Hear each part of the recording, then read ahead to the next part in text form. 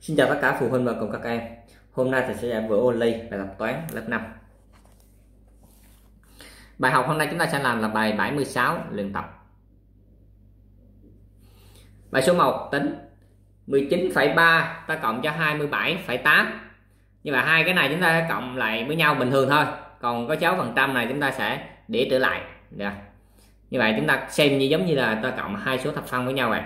3 ta cộng cho à, 8 là 11 viết một ta nhớ một đánh dấu phải. À 17 viết 7 ta nhớ một. 4 47,1 phần trăm.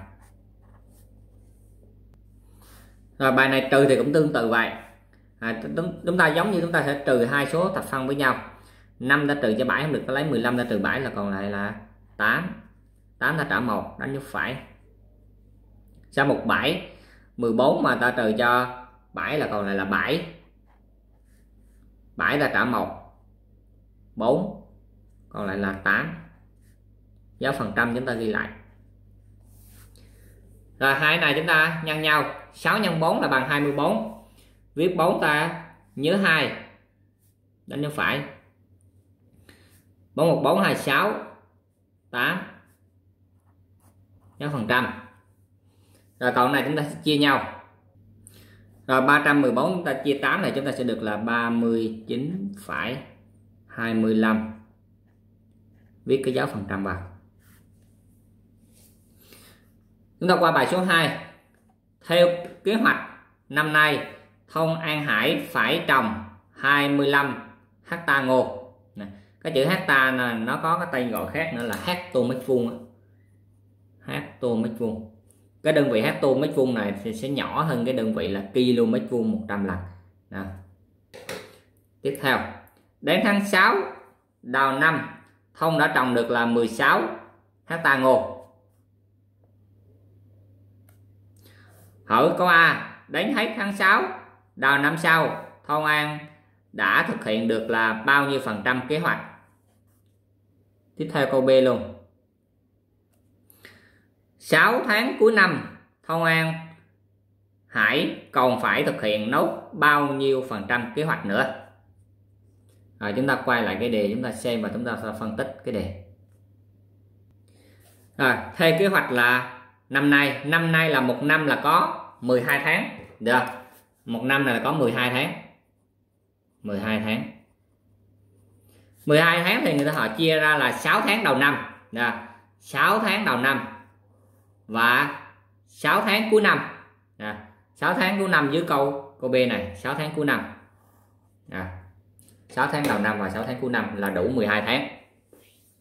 Bây giờ người ta họ tính là từ tháng 1 mới tới là hết tháng 6 à, là đó là 6 tháng đầu năm thì người ta họ trồng được là 16 hecta ngô à, như vậy là người ta hỏi là đến hết cái tháng 6 này nè thì là trồng được là bao nhiêu à, so với cái cái kế hoạch giờ ta lấy là 16 ta chia cho 25 là chúng ta sẽ tính ra được là nó bao nhiêu phần trăm. Và chúng ta tính là câu A, phần trăm.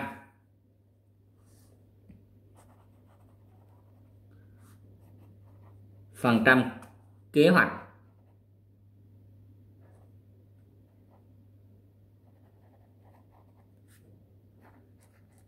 Sáu tháng, đầu năm là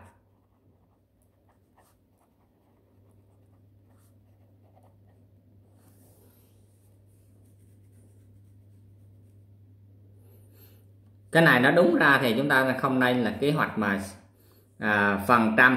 À, phần trăm là thực hiện thì chỉnh lại tí ha. Rồi phần trăm thực hiện là 6 tháng đầu năm là ta lấy 16 ta chia cho ta chia cho 20 chia kỳ à. chia cho 20 15 bằng bằng là 0,64 là bằng là 64 phần trăm. Như vậy 6 tháng 6 tháng đầu đầu năm là chúng ta đã thực hiện tới 64 phần trăm rồi. Rồi tiếp theo người ta hỏi là 6 tháng cuối năm thôn An Hải còn phải thực hiện nốt là bao nhiêu phần trăm kế hoạch nữa? Như vậy là một cái kế hoạch là luôn luôn là được là 100 phần trăm nó luôn luôn là 100 phần trăm. Mà đây đã thực hiện là 64 phần trăm rồi ta lấy 100 phần trăm ta trừ cho 64 phần trăm thì nó sẽ ra. Cái cái cái ờ, cái cái, ờ, cái phần trăm còn lại.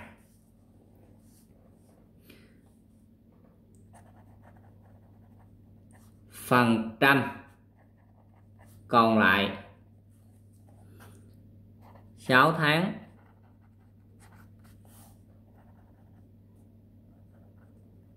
Cuối năm phải thực hiện là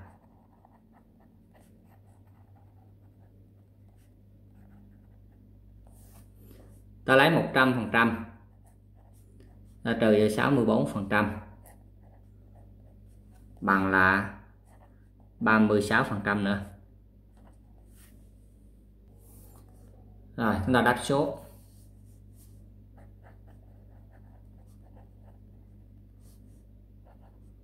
ba mươi sáu phần trăm. Đó là câu câu A A câu B nó không có tập trung kỳ kỳ quá. Câu A là 64 phần trăm. Câu B là 36 phần trăm.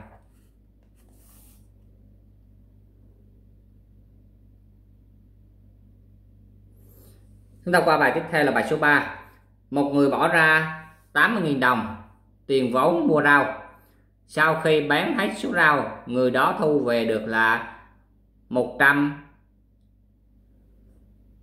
115.000 đồng. Hỏi người đó lãi bao nhiêu phần trăm.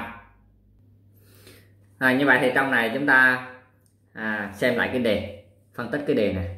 Bây giờ là bỏ ra cái số vốn là 80.000 đồng. Đó, đó là tiền vốn. Và sau khi người ta họ bán người ta thu về là 110 15.000 đồng như vậy là trong này nó có cả tiền vốn và tiền tiền lời ở trong này. À, vốn và lời ở trong này. Nhà ta lấy số này ta trừ số vốn thì nó ra coi lời được bao nhiêu. À, rồi ta lấy số lời ta chia ra số vốn thì nó sẽ ra được cái cái uh, lãi phần trăm phần trăm lãi. À, chúng ta sẽ đi tính là số tiền lời là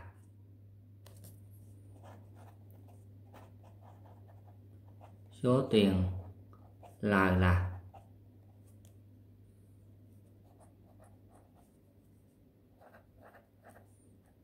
Trừ cho 80.000 đồng. Bằng như vậy chúng ta lời được là 35.000 đồng.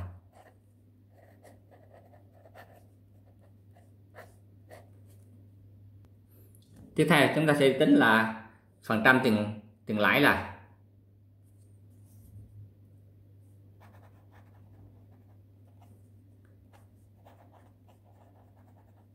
phần trăm. Tiền lãi là